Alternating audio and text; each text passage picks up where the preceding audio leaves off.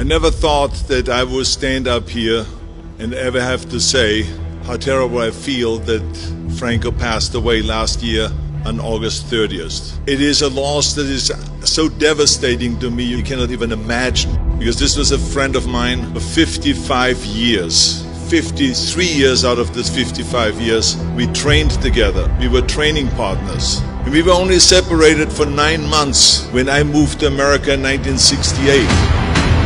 And I tell you, it didn't feel the right way. It didn't feel right. Even though I had great training partners, I had, but they were not Franco Columbu.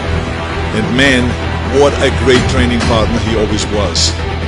He was not one of those guys that would just train with you and he would look away while you're doing your reps. He was right there and he was counting out the reps and he was competitive.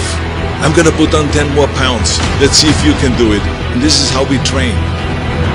From one machine to the next, to the next, to the next, five hours every day. Then we practice posing together. I just was so amazed of what a great champion Franco became. I mean, that guy was an animal.